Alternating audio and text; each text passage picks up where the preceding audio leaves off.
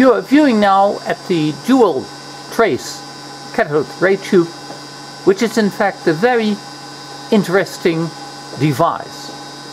You see in the center two signals which are not yet um, back to back, but it can be tuned back to back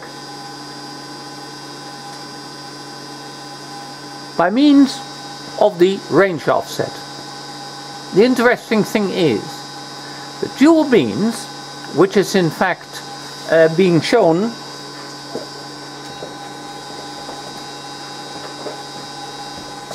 which is in fact being shown by this means you can see clearly it actually are two uh, beams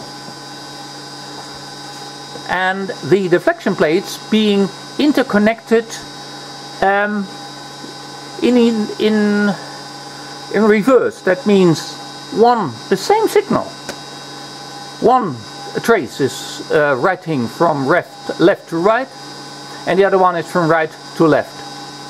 So the center is really the center of the system. Also the vertical deflection system is being done the same way. So one is uh, uh, painting upwards, the other is painting downwards. And just where the line is exactly um, in, in yeah, I'll call it back to back, um, you will see that uh, adjustment is very accurately possible, which is not possible without this type of means. But if you view the system, you will see that there are also side systems, side pulses.